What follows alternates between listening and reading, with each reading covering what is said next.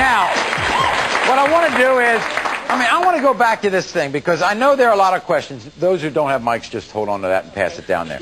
We're talking to female bodybuilders, and you know, I, I, I'd like to get into, you know, what you're confronted with the most. I mean, what bothers people the most about you? Is it the muscles? Is it the fact that they? Femininity issue.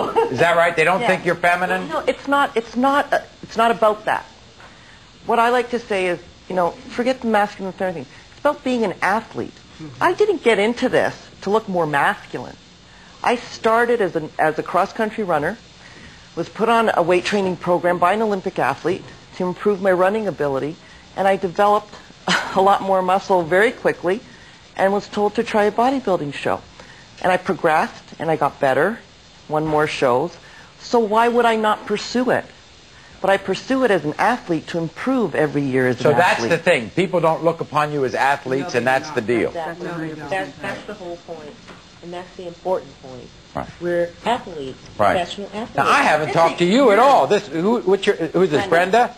Brenda. Okay. The general public doesn't understand that we put a lot of hours into training, you know, hard in the gym. We train hard in the gym. We we schedule our meals. We we eat yeah certain ways. We eat two three hours every couple you know every two three hours, Right. and we eat like six to eight meals a day, and we have to prepare our food.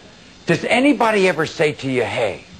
They think all we care is about the way we look, and the art that that we're building our muscles. So we are so focused on ourselves. We don't have any time for anybody else. I think But doesn't everyone care about the way they look? It's a very very vain.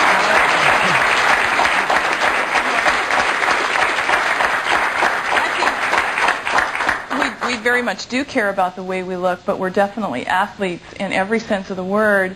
And I think that femininity really is something that comes from within a person. It's not something that's on the outside. It's really within. Inside out. It's how you feel about yourself.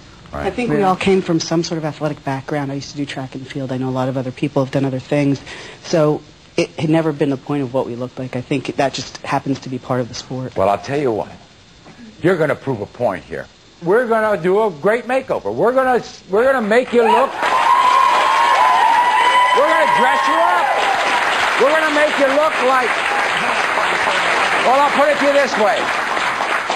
When they see you next, they'll have no problem with your femininity. We'll be back right after this.